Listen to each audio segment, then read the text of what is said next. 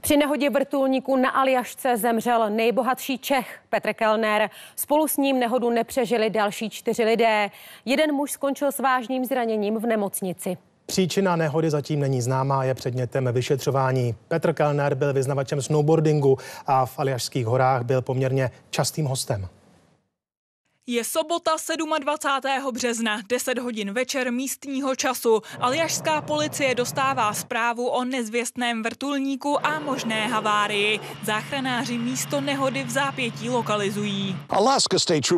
Aljašská policie uvedla, že se nehoda stala blízko ledovce Knik. To je ta plochá, pustá a bílá plocha v pozadí za mým levým ramenem. Záchranné složky na místě nacházejí jednoho přeživšího a pět mrtvých, včetně českého miliardáře Petra Kellnera. S hlubokým zármutkem oznamujeme, že při nehodě vrtulníků v Aljašských horách v sobotu 27.3.2021 tragicky zahynul zakladatel a majoritní akcionář skupiny PPF pan Petr Kellner. Důvody nehody, při níž zahynulo celkem pět osob, jsou předmětem vyšetřování.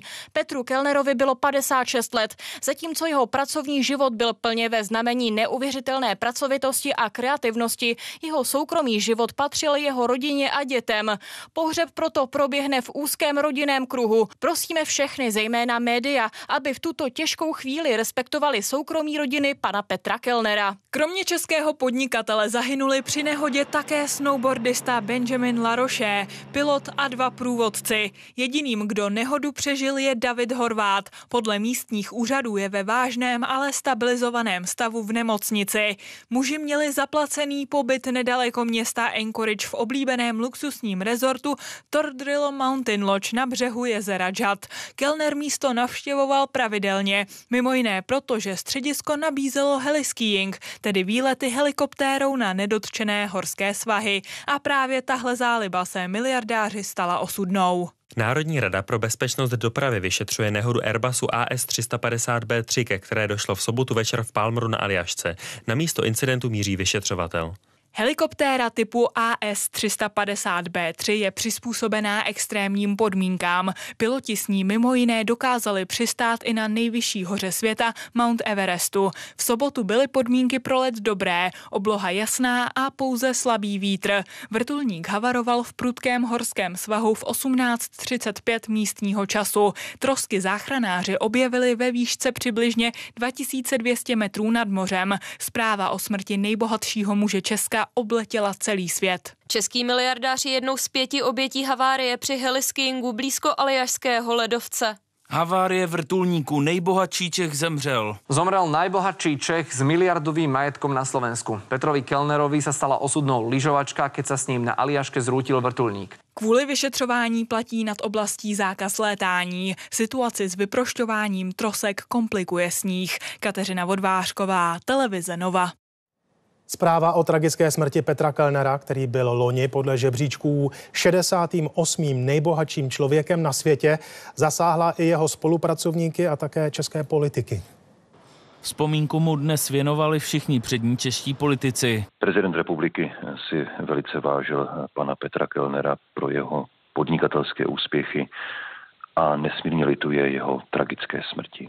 Samozřejmě upřímnou soustrast všem blízkým, byl to největší český podnikatel. Neuvěřitelná tragédie, je mi to moc líto. Upřímnou soustrast celé rodině Petra Kellnera. Skupina PPF v jejím čele stál byla jednou z prvních skupin eh, podnikatelských, která se přihlásila a na začátku pandemie pomohla.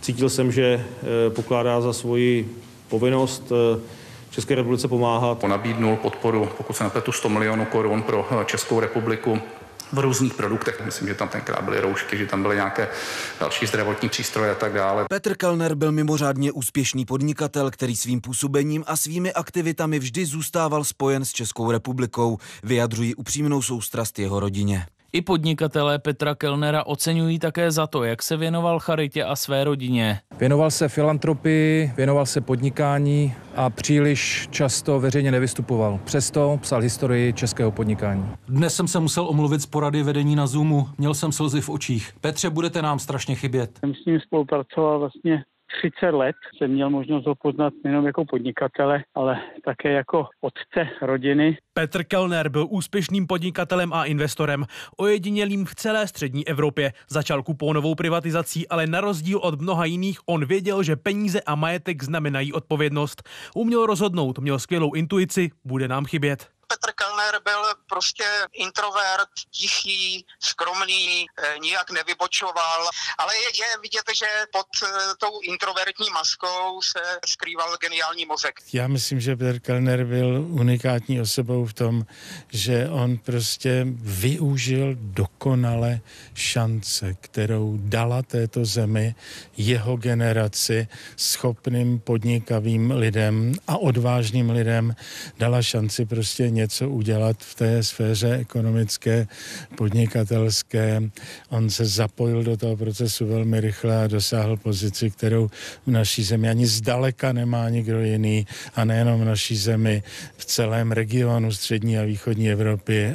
Prostě mimořádná osobnost, která promluvá do celého světa.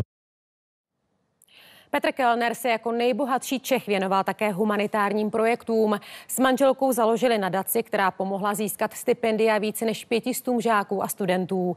Pomáhal také v boji s rakovinou. Byl otec čtyř dětí a sportovec. Jeho dcera Anna patří mezi české reprezentanty v parkourovém sportu. Dokonce se kvalifikovala na olympijské hry do Tokia.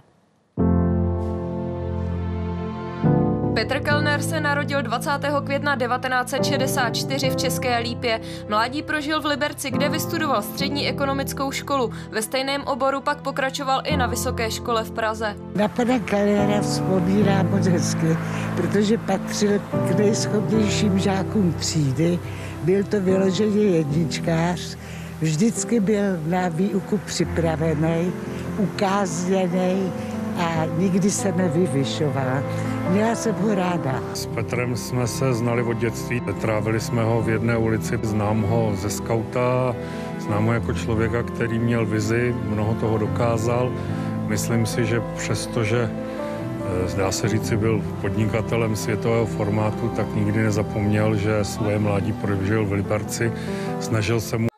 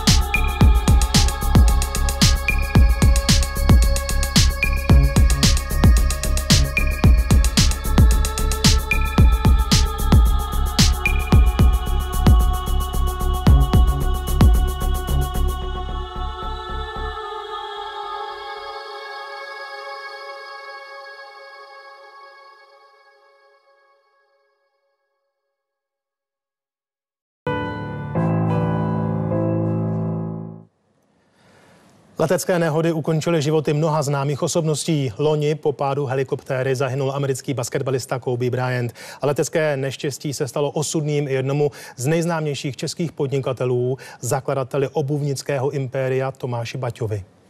Letecká neštěstí si ne